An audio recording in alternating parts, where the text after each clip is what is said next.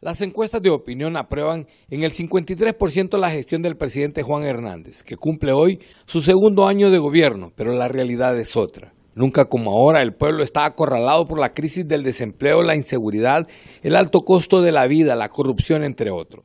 Mire, Juan Orlando yo no dudo que haya hecho esfuerzos, pero le han salido malas cosas.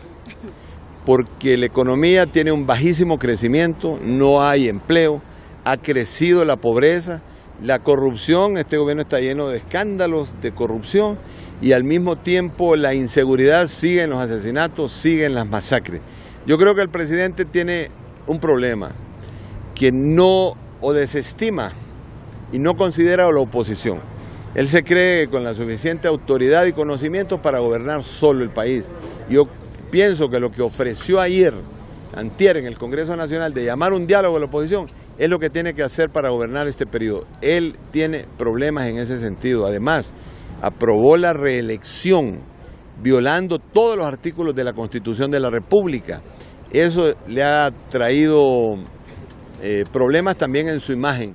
La misma sociedad, los partidos políticos, las iglesias, las organizaciones populares tienen la misma queja. Este gobierno manejado por un grupo de amigos ni ve ni escucha lo que hace perder la popularidad de quien gobierna, con una simple minoría afectando a la gran mayoría. Algunos entendidos señalan que sí hay logros, como la estabilización económica, pero desatendió otros sectores sensibles como la salud y educación. No hay inversión pública ni mucho menos una política de empleo que resuelva la situación y no empobrezca aún más al pueblo. Eh, si bien es cierto, hay un buen nivel de reservas internacionales y hay otros indicadores que son favorables y que son necesarios para promover el crecimiento y las oportunidades de inversión, la realidad es que la creación masiva de empleo eh, que es una variable importante en la economía, no ha sido resuelto ni hay claridad de una política que apunte a que verdaderamente hay eh, esas posibilidades, especialmente en las áreas eh, más deprimidas de nuestra sociedad. El sistema sanitario a nivel nacional que brinda atención médico hospitalaria a más de 6 millones de compatriotas está colapsado. No hay doctores, enfermeras, personal auxiliar, medicinas, equipos, en fin, una calamidad. ¿Y qué decir de la educación sin una infraestructura adecuada, sin pupitres, textos educativos? Bueno, un panorama difícil e inexplicable. Eh, yo siento de que se ha mantenido, por ejemplo, la disciplina. Eh, con el trabajo de los docentes. Se cumple con los 200 días en el 2014 y en el 2015. Eh, eso es lo bueno, pero hace falta un poco más. Hace falta más acompañamiento del trabajo docente, hace falta mucho más supervisión del trabajo docente, que es lo que el secretario de Educación no ha podido llegar.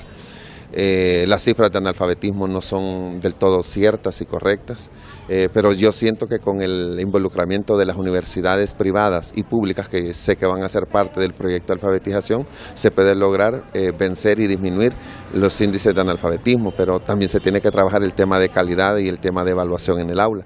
No se puede abarcar todo, pero queda fuera de este análisis temas como la inseguridad, que el gobierno dice haber reducido del 89 por cada 100.000 habitantes a 54, cifra que el pueblo experimenta cada día. El desempleo aumentó en más de 2 millones de compatriotas, la canasta básica está por las nubes y las promesas ahí quedarán en simples promesas. Desde Tegucigalpa para Telenoticias, Eric Pineda en cámara, Marvin López Uchini les hemos informado.